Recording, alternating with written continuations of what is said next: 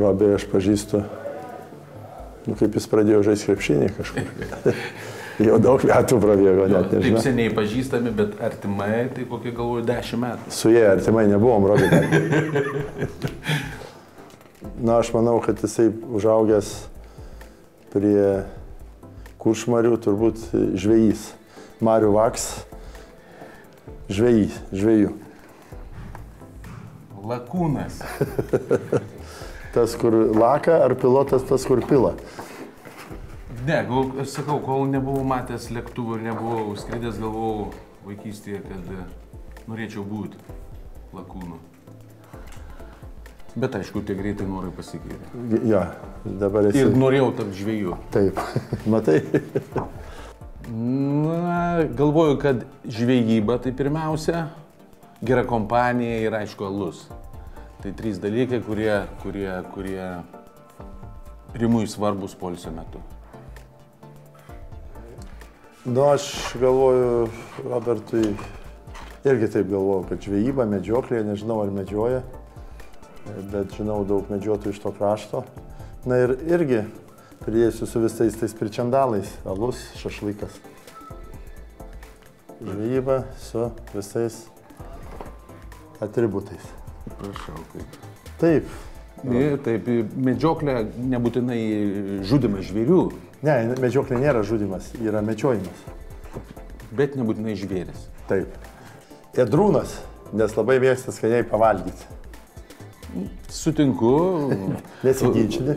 Nesu, jo, kad e, šiaip aš apibūdinu save kaip paprastas, bet aš nesu išrankus maistui, todėl, todėl galima sakyti, kad nu, edrūnas tai gal kaip gyvūnas, bet čia toks pavalgantis būtų pasakęs.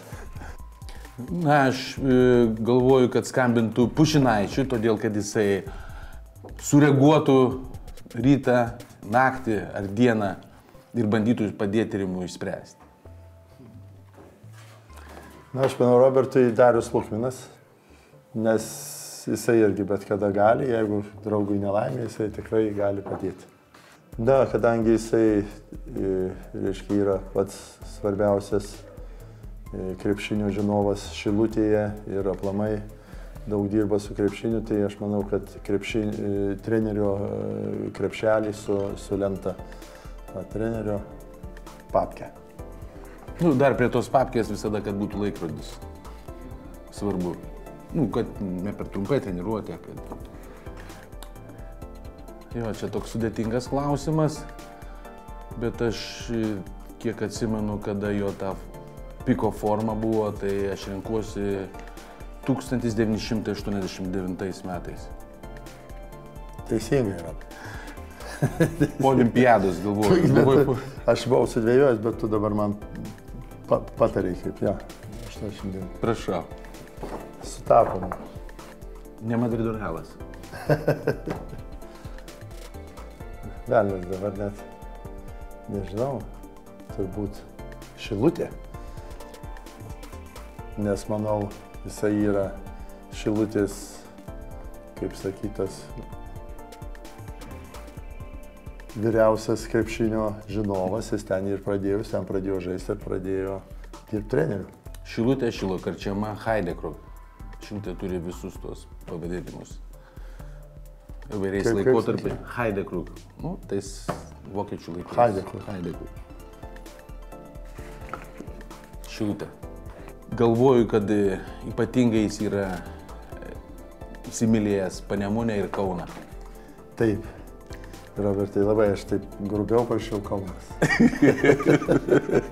taip, panemunė Kaunas, aš netoli nuo panemunės. ir Aš būtinai norėjau pabrėžti Panemunę. Taip, apvažiavau visą pasaulį ir grįžau į ten, kur man yra labai brangu.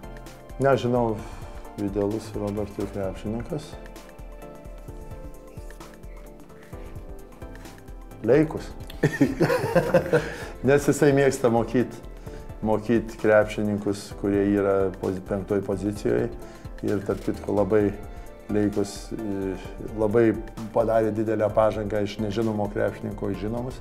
Ir manau, kad Robertas irgi buvo prisidėjęs jam tobulėti. Nu, Raimondas man labai patinka kaip, kaip krepšininkas, kaip žmogus, kaip draugas.